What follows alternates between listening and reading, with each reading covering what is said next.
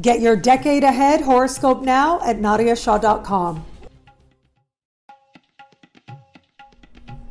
Hello, fabulous Aries. Welcome to your horoscope for the month of October 2019, looking at life and love. I am your astrologer, Nadiya Shah. Thank you for being here. What an amazing month it is. We have an active and fabulous sky playing out for us right now. And it is as we start the month that we're still working with the energy of the new moon late last month. Now, I did speak about it then, but just to give you a little bit of a reminder, it is other people as you're starting this month that are coming into focus and healing your one on one alliances, understanding where it is that you're ready to begin again with certain people, or maybe welcoming in new people as part of moving your life and your understanding forward. But the energy does change as energy does, and it is going to be in the middle of the month, right around the 13th, give or take a day on either side, depending on where you are on the planet, that we are going to have this month's full moon. Now, what makes this that much more meaningful for you is that this full moon is in your sign.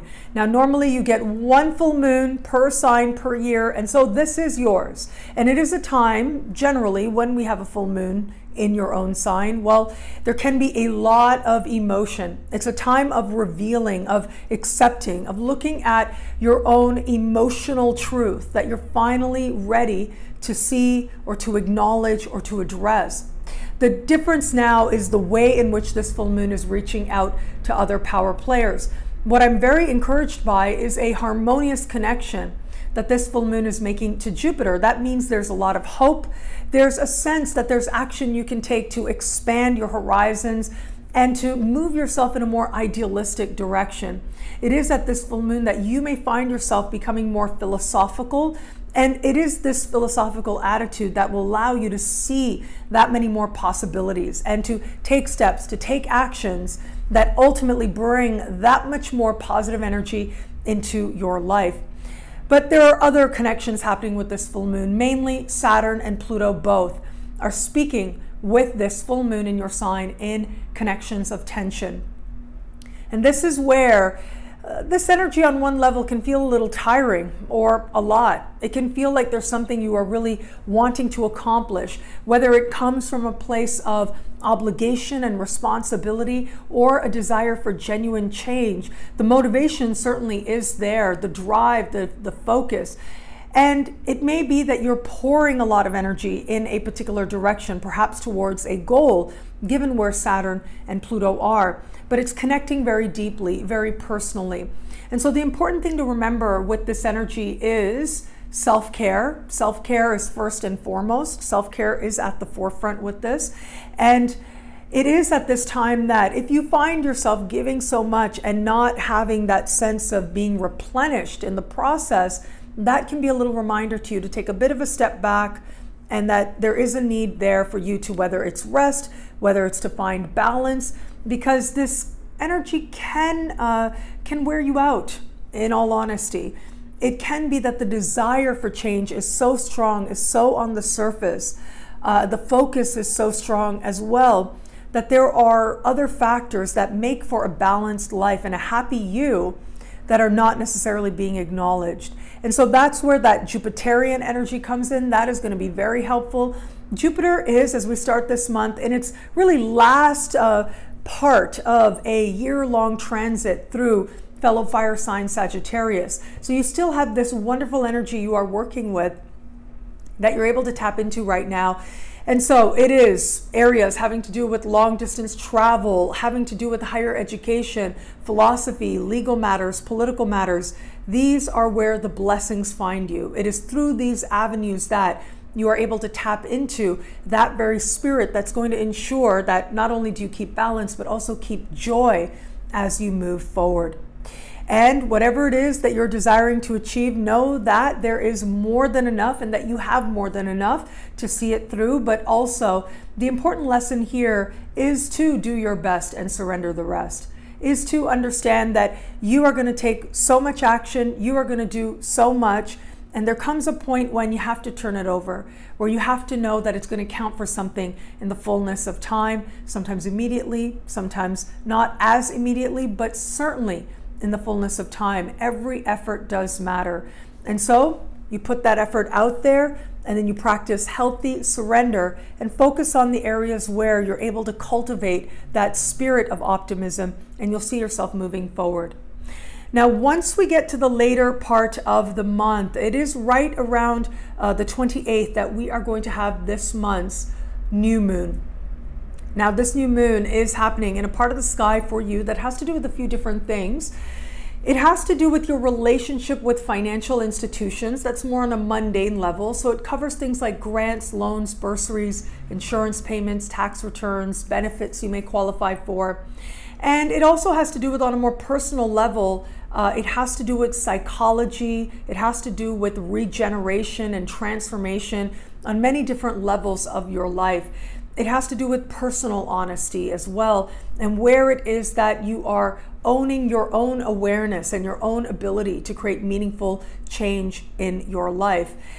Now, what's happening with this new moon? Well, look, new moons are new opportunities. So that's great. New possibilities can open up here. But there's a few interesting things that are happening simultaneously. So, one is that this new moon is standing across the sky from Uranus, and that brings in a surprise factor. That can bring new opportunities seemingly out of nowhere that leap you forward towards greater wealth on the one hand, but also towards your own personal realization, the kind that comes quickly and leaves you feeling changed in ways that last. But this is what astrologers call an opposition when a planet stands across the sky. And they can go either way, meaning this can be, you know, remarkably wonderful, but it can also be a need to pay attention for you to have to look at something and to get honest with yourself. And so, where it is that there is a financial matter or a matter related to a financial institution that maybe you need to look at, you need to address, you're going to get that opportunity to do just that. But I think in the balance of it, where it comes to these Uranus connections, ultimately they are about leaping us into the future. And the future is always a wise and more loving and more fortunate place. But here's something else to take into consideration as well. When we have such strong financial energy, it means that the money you need is there. You may need to do more or show up for it in some way, but the prosperity certainly is there because some of the learning is around prosperity. But what will be happening at this new moon is that we will have um, Mercury slowing down to a standstill and on Halloween Day going retrograde and in this same part of the sky. And Mercury will be in this part of the sky from the very beginning of the month right into about the middle of December, an unusually long time. Next month is Mercury retrograde. Well, like I said, Mercury retrograde officially starts on Halloween.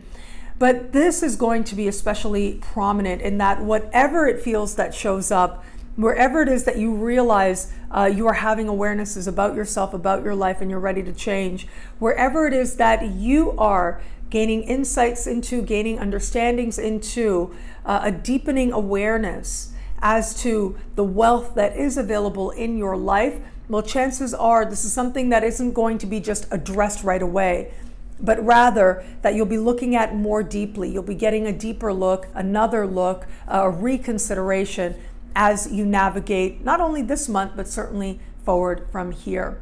Now, where it comes to matters of love, a few things stand out to me. So, one is the fact that late last month we did have that new moon in your opposite sign and again i spoke about that last month that love related energy you certainly are carrying in now.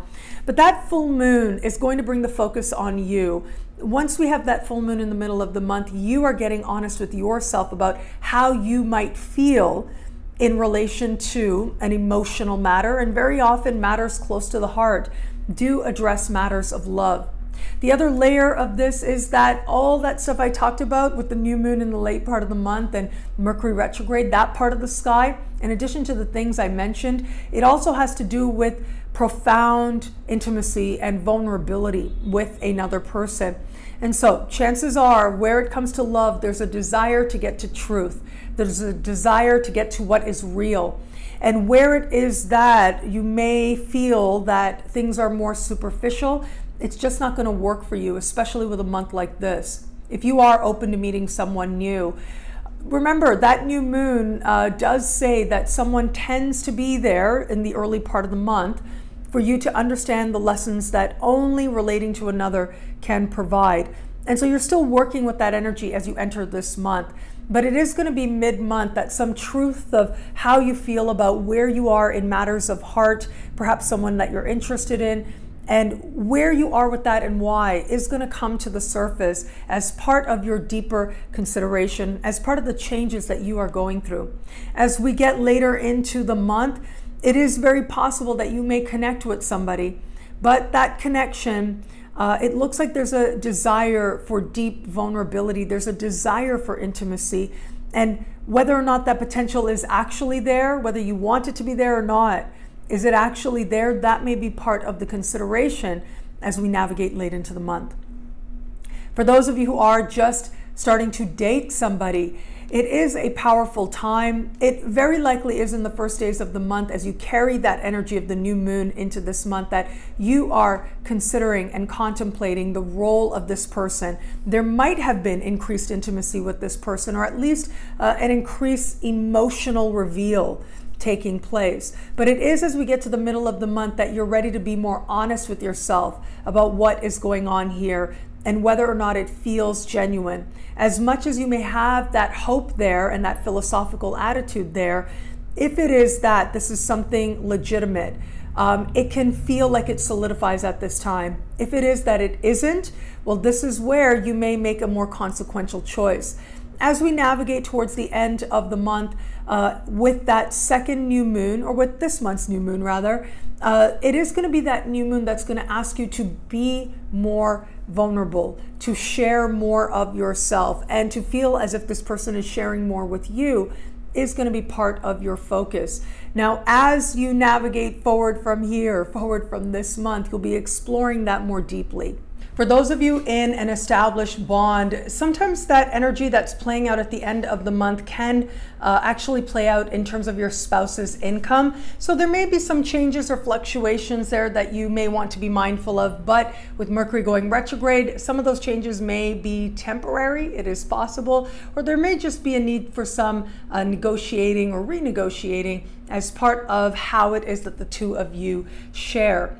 Now, what that part of the sky also has to do with is that sense of profound intimacy, is that sense of sharing more deeply with others. And it can be a time when, perhaps in very quick and surprising moments, uh, the two of you find yourselves learning more about each other in a way that ultimately can help the two of you leap together towards a stronger and more honest future. What I love about this month for you, it's got to be that full moon taking place right in the middle of the month. It is going to be an important time for you, a moment of honesty, a time of emotional strength and even some clarity. Now, that clarity is going to come about through cultivating intentional optimism and by considering all that there is for you uh, to focus on, to be excited about now and in your future. However, some of that awareness may come up through feeling things very deeply and personally and realizing at the core what is it that is really essential? What is it that really matters? When you find that answer, it'll be that much more meaningful to you because they will be answers that are truly your own. Well, thank you so much for watching. You can get a video like this every week by logging on to nadiyashah.com. Sign up to be one of my superstars. Superstars get expanded exclusive video scopes each and every week, unlimited access to special horoscopes and more. All of this in the superstar space. I look forward to meeting you there. It'll be a great month. Enjoy.